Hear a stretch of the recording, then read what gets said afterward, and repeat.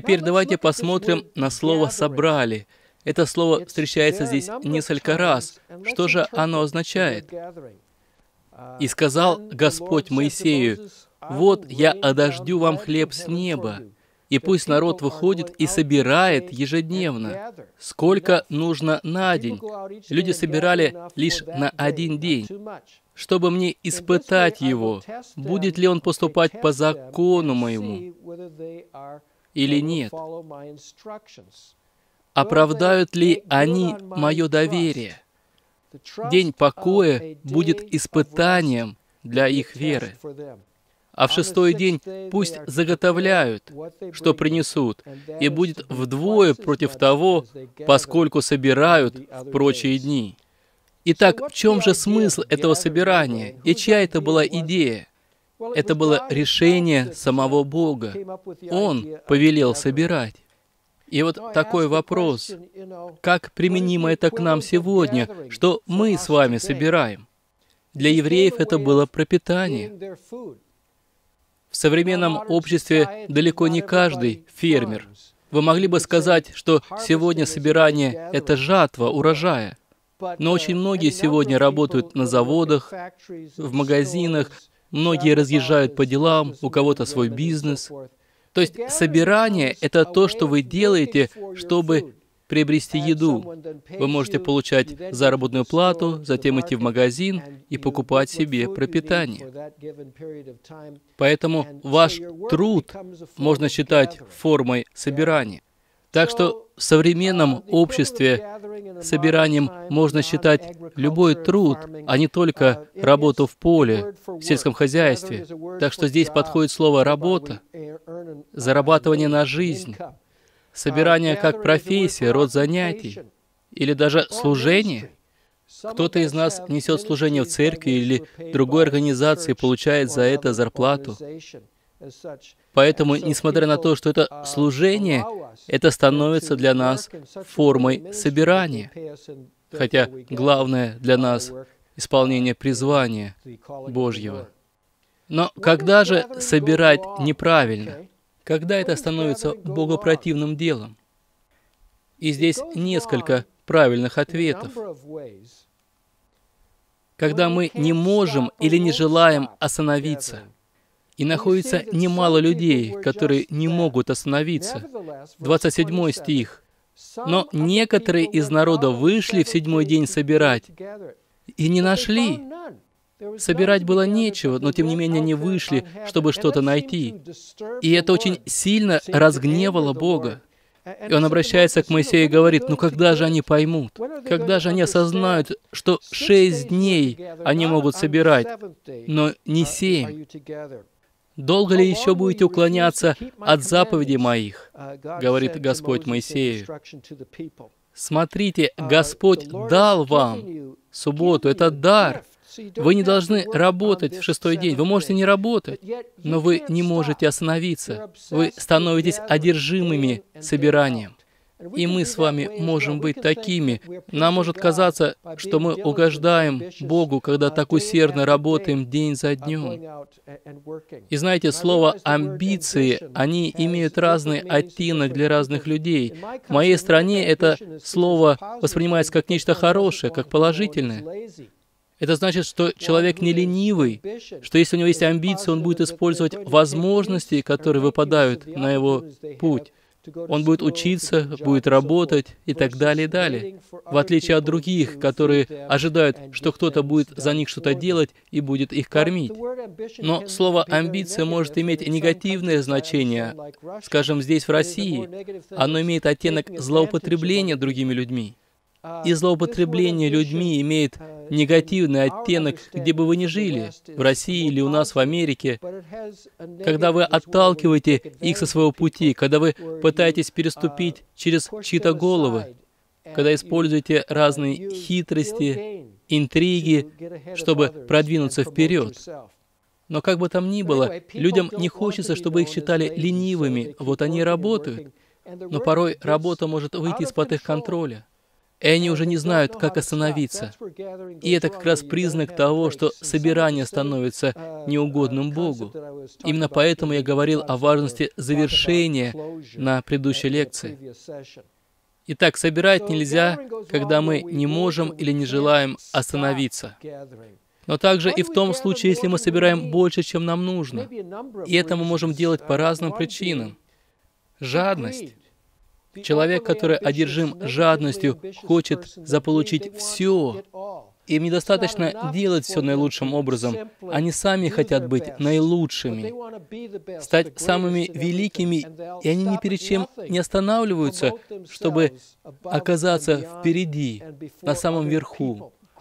Они хотят получать больше, чем отдавать. Но Бог таким образом посылал ману в пустыне, что она начинала портиться, если оставалась на следующий день. Еще одна причина — страх. Очень многие люди в нашей стране выросли в тот период, который называется Великой депрессией.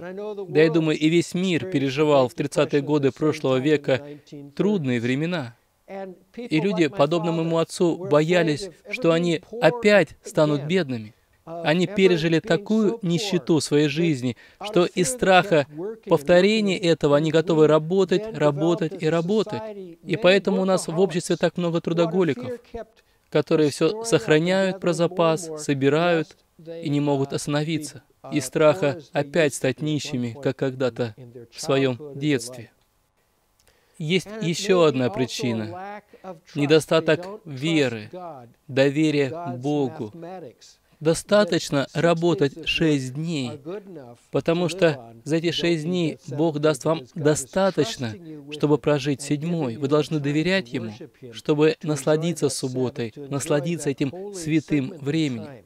И мы вновь и вновь убеждаемся, что слово «доверие» связано с понятием субботы. Суббота — это еженедельная проверка нашего доверия Богу. Будем ли мы продолжать собирать, продолжать работать, и потом с гордостью заявлять, что я работаю семь дней в неделю. Я настолько хороший работник, я настолько необходим, незаменим.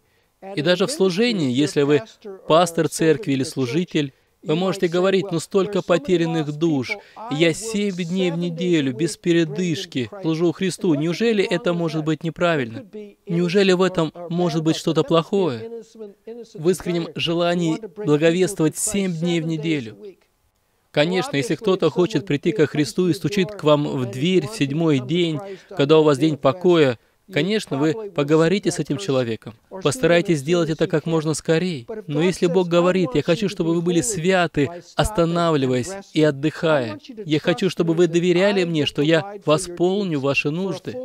Седьмой день — день покоя. Вам достаточно работать шесть дней. Доверяйте мне», — говорит Господь. И мы должны научиться доверять в этом Богу. И опять же, а без веры угодить Богу невозможно. Апостол Павел цитирует книгу Исход, 16 главу, 18 стих, во 2 Коринфянам 8.15. Как написано, кто собрал много, не имел лишнего, и кто мало, не имел недостатка. И он пишет это, обращаясь с призывом жертвовать Каринской церкви. А в церкви были люди, которые пытались удержать у себя, которым трудно было поделиться чем-то с другими людьми. Павел пришел собрать пожертвования в Каринской церкви для других христиан, а они, имея богатство, не желали делиться. Они не понимали, сколько достаточно для них. Они считали, что сколько бы они ни собирали для себя, у них все равно не будет слишком много.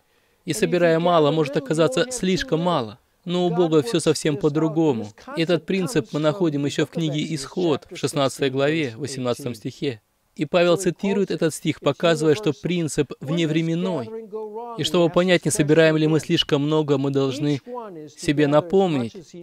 Вот что повелел Господь. Собирайте его каждый постольку, сколько ему съесть. По гамору на человека, по числу душ, сколько у него в шатре, собирайте. И сделали так сыны Израилевы, собрали, кто много, кто мало, и мерили гамором, и у того, кто собрал много, не было лишнего, и у того, кто мало, не было недостатка. Каждый собрал, сколько ему съесть. Итак, я повторюсь, когда надо перестать собирать? Тогда, когда мы собираем больше, чем нам необходимо, и мы не в состоянии остановиться.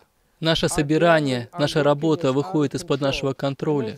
И вот принцип субботства, я называю его Божьей математикой. Посвятите Богу один из семи дней. Помните, Он радуется, когда вы отдыхаете, и Он не оставит вас в нужде и в день покоя.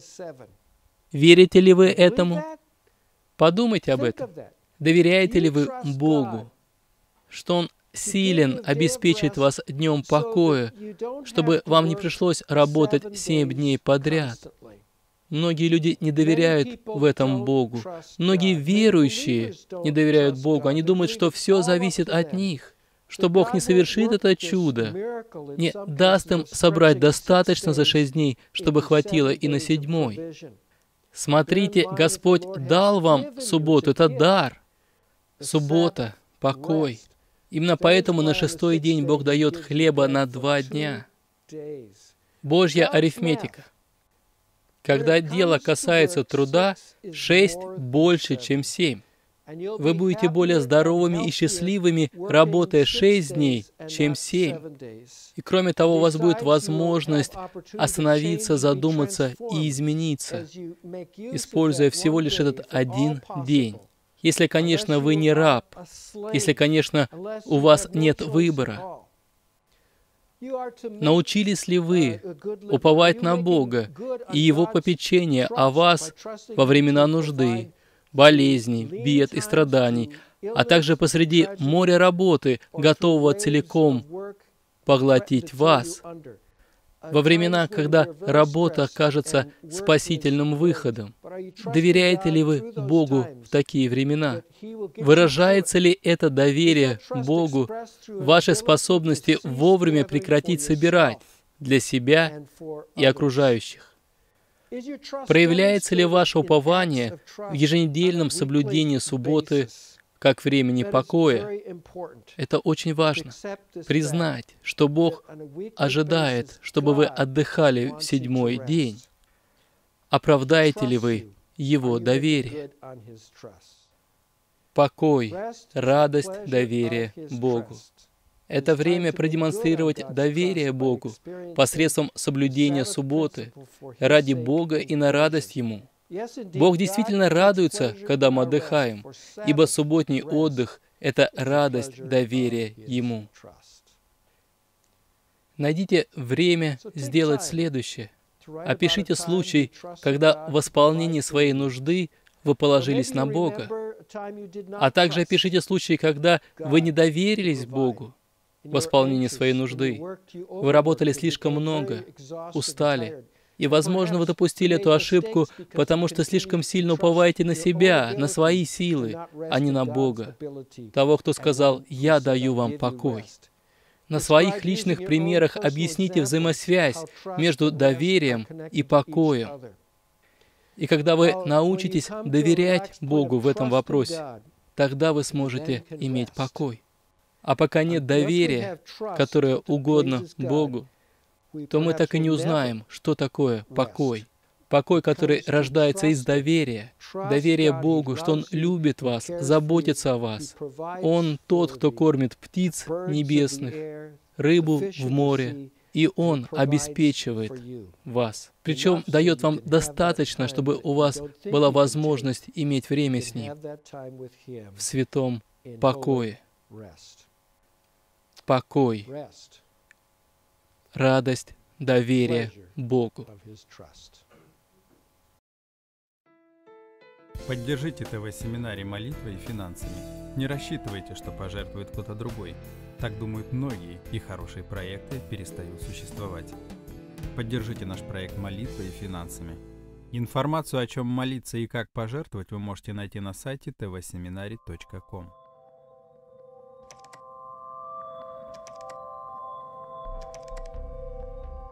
Ищите нас в поисковых системах по запросу ТВ Семинарий.